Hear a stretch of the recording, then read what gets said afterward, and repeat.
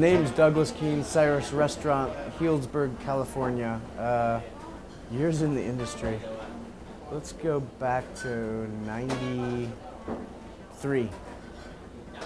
Before that, actually, 89, 91, 93.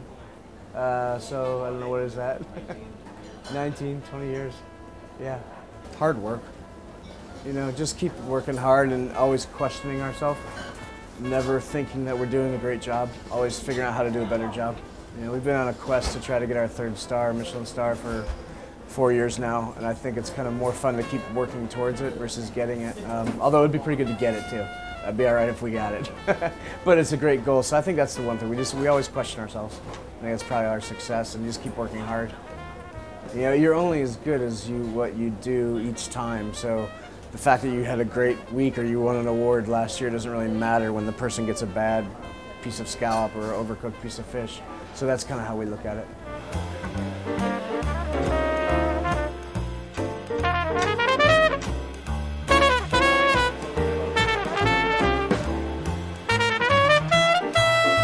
Um, everything's it's all about quality. It's all about trying to give something to the guest that they couldn't get somewhere else, whether it be a flavor or a feeling or an experience. Um, and it's all on a high level of quality. That's what we do. You know, we, we, we our restaurant charges a lot of money, and we owe you a very good experience. So I feel we kind of have a obligation to give you something more than what you could do at the market by yourself or at, at your home.